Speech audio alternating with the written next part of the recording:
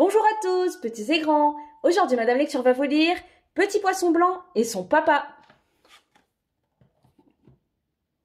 Tous les amis de Petit poisson blanc sont fiers de leur papa. Le papa de Petite tortue est le plus fort. Papa baleine est le plus grand. Papa crabe est le plus rigolo.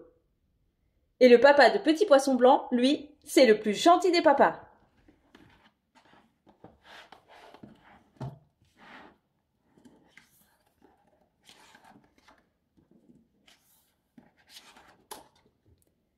C'est mon papa qui a les plus longs bras, se vante la pieuvre. Oh oui, c'est incroyable, dit Petit Poisson Blanc. Moi, mon papa, il est fort, dit Tortue. Il me porte souvent sur son dos. C'est vrai qu'il est très costaud, reconnaît Petit Poisson Blanc. Mon papa collectionne les coquillages, dit Petit Poisson Rouge. C'est sa passion.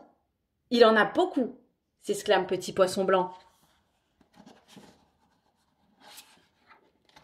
Mon papa n'est pas rapide, mais il est le seul à nager verticalement, dit l'hippocampe. Ah oui, c'est étonnant, ajoute Petit Poisson Blanc admiratif. As-tu vu comme mon papa est rigolo? interroge Petit Crabe. C'est le roi des pirouettes. Petit Poisson Blanc éclate de rire. Je crois que mon papa est le plus grand de l'océan, annonce fièrement le baleineau. En effet, Petit Poisson Blanc se sent tout petit à ses côtés.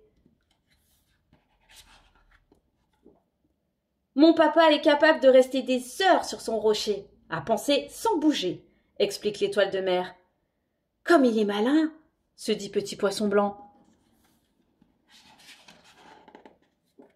Eh bien moi, sourit Petit Poisson Blanc, j'ai le plus gentil des papas.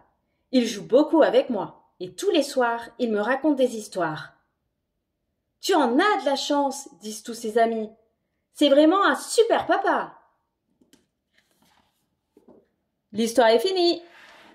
Et n'oubliez pas de vous abonner à ma chaîne pour ne louper aucune nouvelle histoire. À bientôt!